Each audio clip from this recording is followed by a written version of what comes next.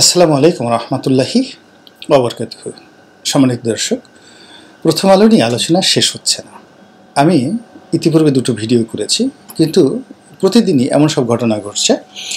আর এই পত্রিকাটির কর্মকাণ্ড, এই পত্রিকাটির ইতিহাস এবং এই পত্রিকায় যারা সাংবাদিক বা কর্মচারী রয়েছেন, তাদেরকে নিয়ে মানুষের যে কৌতূহল রয়েছে এবং ক্ষোভ বিক্ষোভ রয়েছে, প্রেম ভালোবাসা রয়েছে, সব মিলিয়ে মনে হচ্ছে যে আরও কিছু বলা দরকার এবং আরও কিছু জানা দরকার।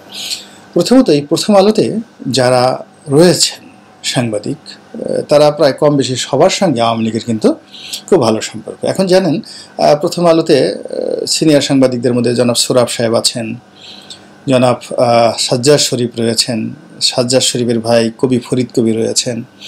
এরপরে কবি এবং সাহিত্যিক আনিসুল হক সাহেব রয়েছেন। ওনারা সবাই কম বেশি আওয়ামী লীগের প্রতি দুর্বল। আওয়ামী লীগের সঙ্গে তাদের খুবই ভালো সম্পর্ক এবং বিশেষ করে আনিসুল হক সাহেবের সঙ্গে শেখ পরিবারের শেখ হাসিনা এবং শেখ রেহানা দুজনের খুবই ভালো সম্পর্ক। বঙ্গবন্ধুকে নিয়ে তিনি অনেক কবিতা লিখেন, অনেক লেখা লিখেন এবং আওয়ামী লীগের অনেক যে বুদ্ধিবৃত্তিক যে অনুষ্ঠানগুলো হয়, সেখানে জাফর ইকবাল সাহেবের পরেই আনিসুল হকের অবস্থান। তো সেই পত্রিকার উপরে কি করে সরকারি খড়গ নেমে আসে বা আসতে পারে, এটি আমার কাছে এখন মনে হচ্ছে যে এর পেছনে হয়তো কোনো উদ্দেশ্য থাকতে পারে। এটি হলো এক। দ্বিতীয়ত, এই পত্রিকার যিনি সম্পাদক, মতিউর রহমান, তিনিও বাংলাদেশে বেশ আলোচিত ব্যক্তিত্ব। এখন, মতিউর রহমানের সাহেবের সঙ্গে একটা সময় শেখ হাসিনার খুব ভালো সম্পর্ক ছিল। কেউ কেউ বলেন যে বিশ্ববিদ্যালয়ে তারা একসঙ্গে পড়াশোনা করেছেন। মতিউর রহমান বামধারার রাজনীতি করতেন এবং সাপ্তাহিক একতা নামে একটি পত্রিকা তিনি সম্পাদনা করতেন। এবং পরবর্তীতে নাইমুল ইসলাম খানের সম্পাদনায় যে আজকের কাগজ পত্রিকা বের হয়, সেখানে তিনি যোগ দিয়েছিলেন একজন রিপোর্টার হিসেবে নব্বইয়ের দশকে।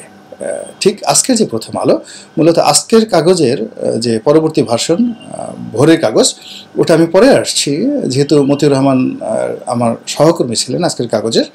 তো আমি এই বিষয়গুলো জানি। তো এখন এই আজকের কাগজ থেকেই মূলত আজকের যে প্রথম আলো যারা কাজকর্ম করছেন, তারা সবাই সেখান থেকে তাদের উত্থান। এমনকি আনিসুল হক, তিনি আজকের কাগজে সরাসরি চাকরি করতেন না।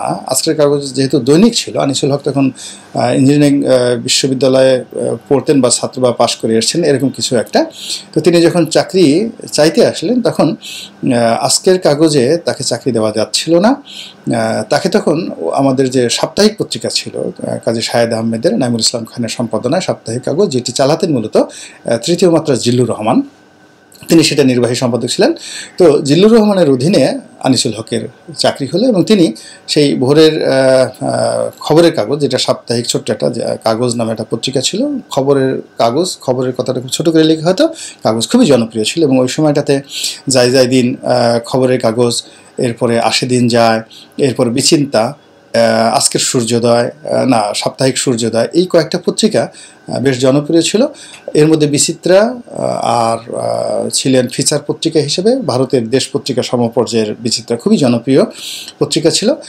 আর ঠিক সিনে পত্রিকা বা ক্রাইম পত্রিকার মধ্যে চিত্র বাংলা ছিল এক নম্বরে। অর্থাৎ সবচেয়ে বেশি সার্কুলেশন ছিল মূলত চিত্র বাংলার। আর ছোট পত্রিকা হিসেবে বেশি সার্কুলেশন ছিল যায় যায় দিনের ওই সময়টিতে। ঠিক সেই সময়টিতে নাইমুল ইসলাম খানের অধীন একজন সাংবাদিক হিসেবে তিনি চাকরিতে যোগদান করেছিলেন আজকের কাগজে। এবং তার বস ছিলেন তিনি যেহেতু আজকের কাগজের রিপোর্টার ছিলেন, তো চিফ রিপোর্টার ছিলেন তখন মঞ্জু সাহেব।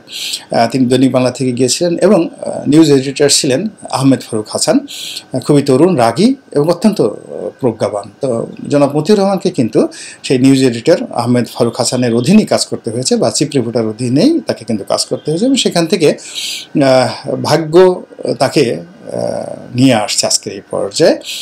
এটি তিনিও ভালো জানেন আর আমরাও ভালো জানি, কিন্তু বাস্তবতা হলো তিনি এখন অতি গুরুত্বপূর্ণ ব্যক্তি, বাংলাদেশের আন্তর্জাতিক অঙ্গনে অতি গুরুত্বপূর্ণ ব্যক্তি, এবং তার মধ্যে যে লুকায়িত প্রতিভাগুলো ছিল দ্য পাওয়ার অফ যাকে বলা হয় marketing power of entertain power of managing যা কিছু ছিল, যেটি আসলে আজকের কাগজ বা ভোরের কাগজ পর্যন্ত সেটি ফ্লারিশ হয়নি। কিন্তু প্রথম আলোতে তিনি এই ট্রান্সকম গ্রুপের সাথে যুগবদ্ধভাবে যে পত্রিকাটা বের করেছেন, এখানে তার মেধা, মননশীলতার একেবারে সর্বোচ্চ পর্যায়ে তিনি ঢেলে দিয়েছেন এবং এর ফলে আজকের কাগজ, ভোরের কাগজের যত ঐতিহ্য সব ঐতিহ্যকে আরও কয়েক গুণ বাড়িয়ে আজকের এই প্রথম আলোকে তিনি দাঁড় করিয়েছেন। এখন প্রথম আলো বাংলাদেশে অনেকগুলো ট্রেন্ড চালু করেছে। কোনটা? তারা সংবাদপত্রের একটা নতুন ভাষা তৈরি করেছে সংবাদপত্রের একটা নতুন স্টাইল তৈরি করেছে, সাংবাদিকদের একটা নতুন স্টাইল তৈরি করেছে, এবং সাংবাদিকের অফিসগুলোতে অনেকটা কর্পোরেট লেভেলে এখানে সব কিছু চলে। অর্থাৎ প্রথম আলোর যে বেতন, ভাতা থেকে শুরু করে তাদের যে সুযোগ সুবিধা, যে কোনো কর্পোরেট অফিসের চাইতে ভালো এবং তারা ঠিক অনেকটা ফেলোশিপ কায়দায় পত্রিকা যেভাবে চালায়, তাতে এখানকার সাংবাদিক এবং স্টাফ যারা রয়েছেন, তারা অনেকটা নিরাপদ বোধ করেন। যেমন ধরুন এই যে এখন যে ঘটনাটা ঘটলো শামসুজ্জামান গ্রেপ্তার হলো। তো এর দায় দায়িত্ব কিন্তু প্রথম আলো নিচ্ছে। এর ব্যয়ভার বহন করছে, পরিবারকে দেখাশোনা করছে এবং এটার জন্য যত আইনি লড়াই, তারা কিন্তু সেটা করে যাচ্ছে। এবং এই ঘটনার ফলে কিন্তু শামসুজ্জামান যিনি সাভারের প্রতিনিধি, তিনি চাকরি হারাবেন না, বরং তার প্রমোশন হবে এবং যে ঘটনায় স্বয়ং মতিউর রহমান আসামি হয়েছেন, তারপরেও শামসুজ যেমন কিন্তু এটির দ্বারা তিরস্কৃত হবেন না। তো এই যে সংবাদপত্রে যারা মাঠ পর্যায়ের কর্মচারী বা মাঠ পর্যায়ের সাংবাদিক, তাদের ব্যাপারে সেটা সার্কুলেশন হোক কিংবা সেটা সাংবাদিকতা হোক, তাদের ব্যাপারে যে পত্রিকা কর্তৃপক্ষ যেভাবে ঝুঁকি নিচ্ছে, এই ট্রেনটা প্রথম আলো কিন্তু বাংলাদেশে প্রথম চালু করেছে। এর আগে কোনো পত্রিকা এভাবে করেনি, আর এখনও প্রথম আলো ছাড়া অন্য কোনো পত্রিকা করে না। বাংলাদেশে অনেক বড় বড় পত্রিকা রয়েছে। এমনকি সার্কুলেশনে পত্রিকার চাইতেও মানে প্রথম আলোর চাইতেও বেশি সার্কুলেশন পত্রিকা রয়েছে একটি। তো তারা কিন্তু প্রথম আলোর মতো এরকম করতে পারেনি। বরং তারা অনেকটা কর্পোরেট কালচার মেনটেন করে, মালিকের কথা মতো চলে বা গা বাঁচিয়ে সরকারের সাথে সম্পর্ক রক্ষা করে নিজেদের সার্কুলেশন বেশি আছে। একটা বাণিজ্যিক প্রতিষ্ঠান হিসেবে তারা চালাচ্ছেন, কিন্তু প্রথম আলো একটা মিশন নিয়ে, একটা ভিশন নিয়ে কিন্তু এগোচ্ছে।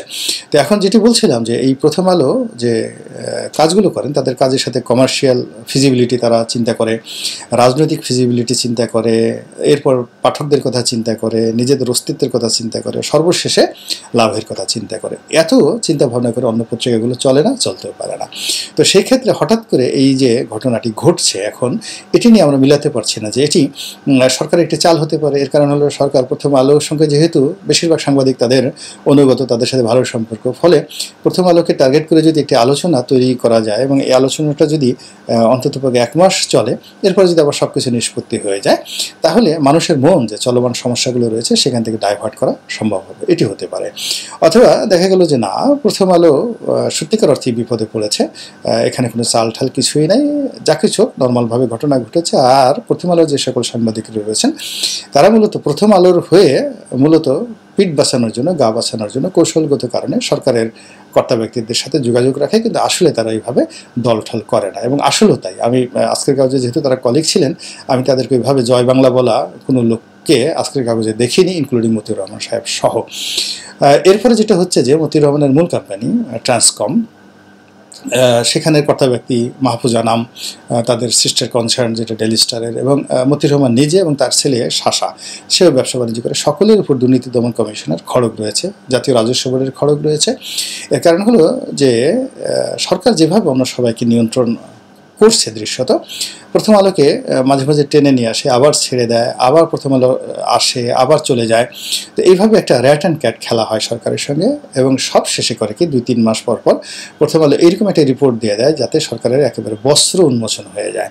ফলে সরকার প্রথম আলোকে বিশ্বাস করতে পারে না না পারার কারণে প্রথম আলোর কর্তা ব্যক্তি থেকে শুরু করে স্পর্শকতর জায়গাগুলোতে রাষ্ট্রীয় মেশিনারিজের যতটা চাপ প্রয়োগ করা দরকার, সেটি কিন্তু করে যাচ্ছে এবং অসংখ্যভাবে নামে বেনামে এই জিনিসগুলো প্রতিনিধিত্ব করে যাচ্ছে। কখনো প্রথম আলো অর্থ আত্মসমর্পণ করে, আবার কখনো যেহেতু প্রথম আলো বুদ্ধি নিয়ে চলে, তারা ইন্টেলেকচুয়াল লেভেলে এমন কিছু করে যেটি সরকারের আসলে লাজাবাব হওয়া ছাড়া কিছু থাকে না। যেভাবে এবার স্বাধীনতা দিবস উপলক্ষে যে রিপোর্টটা তারা ছাপিয়েছে it's unique piece it's a masterpiece এখন যাই হোক না কেন, এখানে ছবি কথা বলছে যে ছবিটি নিয়ে বিতর্ক হচ্ছে, একটা একটা শিশু, ফুল বিক্রেতা। সেখানে স্মৃতিসৌধর এমন একটা জায়গাতে দাঁড়িয়েছে যেখানে কারাগারের গারদের মতো দেখা যাচ্ছে। এরকম একটা ছবি ছবি কথা বলে। এখানে কোনো ক্যাপশন দরকার ছিল না। এরপরে আবার শিশুটিকে ছবিতে রেখে জনৈক দিনমজুরের বক্তব্য যেভাবে সামনে নিয়ে আসা হয়েছে এটি সব মিলিয়ে একটা ইউনিক এবং যার ফলে কি হচ্ছে, সরকারের দৃশ্যত ক্রোধের বাদ ভেঙে গিয়েছে এবং তারা এই কাজগুলো করছে। যা হোক, তো এখন যেটি বলছিলাম যে, প্রথম আলোকে নিয়ে এখন বাংলাদেশে মিশ্র প্রতিক্রিয়া হচ্ছে, তাদেরকে যেভাবে সরকার বিশ্বাস করে না এবং বাংলাদেশের কোনো পত্রপত্রিকা তাদেরকে বিশ্বাস করে না। প্রায় মূলধারার সব পত্রিকাদের সাথে তার গণ্ডগোল, সমস্ত রাজনৈতিক দলের সাথে গণ্ডগোল। এর গণ্ডগোলের মূল কারণ হলো, তারা পত্রিকাটা চালাচ্ছে মূলত জামায়াত ইসলামের কায়দায়। এবং আপনারা জানেন যারা জামাত করেন বা যারা জামাতের রাজনীতি সম্পর্কে ধারণা রাখেন, তারা সবাই খুব ভালো করে জানেন যে জামাত যা কিছু করে নিজেদের জন্য করে। তাদের একটা আলাদা কমিউনিটি আছে। কমিউনিটির বাইরে তারা কখনো যায় না। এবং জামাতের কোনো নেতা বা কর্মী যদি জেলখানা যায়, তার পরিবার দেখাশোনা করা, তার পরিবারের তদারক করা এবং যার টাকা দরকার তাকে টাকা দেওয়া, যার কাছ থেকে টাকা আনা দরকার তার কাছ থেকে টাকা আনা সব মিলিয়ে জামাতি যে অর্থনীতি এখনও পর্যন্ত বাংলাদেশের মধ্যে শ্রেষ্ঠ অর্থনীতি। তাদের তথাকথিত যে ফাইন্যান্সিয়াল ইনস্টিটিউশনগুলো ছিল, প্রায় সবগুলি সরকার কবজা করেছে, অনেকগুলোকে দুর্বল থেকে দুর্বলতর করে দিয়েছে, অনেকগুলোকে ভ্যানিশ করে দিয়েছে। কিন্তু এর ফলে জামাতের অর্থনীতি আরও ভালো হয়েছে। অর্থাৎ আগে যেভাবে বেসিক অর্থনীতিতে জামাত পরিচালিত হতো, এখন তারা মাইক্রো ইকোনমিতে চলে গেছে। প্রান্তিক পর্যায়ে ক্ষুদ্র পর্যায়ে গ্রামীণ ব্যাংকের সেই ক্ষুদ্র ঋণের মতো বা ব্রাকের ক্ষুদ্র ঋণের মতো তারা ছোট ছোট প্রকল্প দিয়ে জামাত এখন অতীতের যে কোনো সময় সে শক্তিশালী হয়ে পড়েছে। একইভাবে প্রথম আলোকে সরকারি বিজ্ঞাপন যায় না। এরপরে প্রথম আলোর যে ব্যয় ভার অন্য যে কোনো পত্রিকার চেয়ে কয়েক গুণ, তারপরে প্রথম আলো কীভাবে চলছে? নিঃসন্দেহে তাদের একটা মাইক্রো লেভেলের ফাইন্যান্সিয়াল প্ল্যান আছে। এবং এই প্ল্যানটি দেশি, বিদেশি বিভিন্ন সংস্থা থেকে শুরু করে তাদের নিজস্ব কতগুলো কৌশল রয়েছে, সেই কৌশলের অবলম্বন করে তারা তাদের ফাইন্যান্সিয়াল স্ট্রেংথটা রেখেছে। এর ফলে কি হচ্ছে? প্রথম আলো সম্পাদক সম্পাদকদের মধ্যে ট্যাক্স পেয়ার হিসেবে সিআইপি এরপরে তার অন্যান্য স্টাফরাও যথেষ্ট যাকে বলে ইনকাম ট্যাক্স দেয় এবং কর্পোরেট হাউস হিসেবে প্রথম আলো যে আয়কর দেয়, এটি অন্যান্য পত্র পত্রিকা তো দূরের কথা, অনেক কর্পোরেট হাউসে কল্পনা করতে পারে না, তারা যথেষ্ট ট্যাক্স দেয়, তাহলে তাদের ইনকামগুলো কোথেকে আসে? তো তারা এমন একটা পদ্ধতিতে চালাচ্ছে জামাত ইসলামের মতো চালাচ্ছে, তার ফলে কি হলো, জামায়াত ইসলামীকে যেমন ইসলামপন্থী কোনো দল দেখেন ইসলামের জগতে কিন্তু জামায়াত ইসলাম নিঃসঙ্গ। তাদের সঙ্গে চর্মনায় তাদের সঙ্গে কাদিয়ানি, তাদের সঙ্গে ফুলতলি, তাদের সঙ্গে আট্রসি এমন কোনো মানে ইসলামী সংগঠন নেই যাদের সঙ্গে জামাতের শত্রুতা নেই। জামাত এখানে একা। কিন্তু শক্তিশালী। তদ্রূপ বাংলাদেশে প্রথম আলোর বন্ধু আছে, এরকম কোনো পত্রিকা নাই। মতিউর রহমানের বন্ধু আছে, এমন কোনো সাংবাদিক নাই। একমাত্র মাহফুজ আনাম ছাড়া এমন কোনো সাংবাদিক নাই। তিনি একা, একক। তারপরে তিনি যথেষ্ট শক্তিশালী। তো সেই দিক থেকে আমার কাছে মনে হচ্ছে যে প্রথম আলোর যে সাংবাদিকতার যে নীতিমালা কিংবা প্রথম আলো পরিচালনার যে নীতিমালা, এটি জামাতি কাদায় পরিচালিত হচ্ছে। ফলে অনাগত দিনে জামাত যদি টিকে থাকে প্রথম আলো টিকে থাকবে আর জামাত যদি নষ্ট হয়ে যায়, তাহলে প্রথম আলো নষ্ট হয়ে যাবে, প্রথম আলো ভেঙে যাবে। আর যদি জামাত আর প্রথম আলো কোনো কারণে এক হয়ে যায় এখনও পর্যন্ত এক হয়েছে কিনা আমি বলতে পারব না, যদি কোনো কারণে এক হয়ে যায়, তাহলে বাংলাদেশে একটা রীতিমতো বিপ্লবে ঘটে যাবে। আল্লাহ আমাদের সবাইকে হেদায়ত দান করুন এবং হেফাজত করুন। আসসালামু আলাইকুম রহমতুল্লাহি ওবরকাতুহ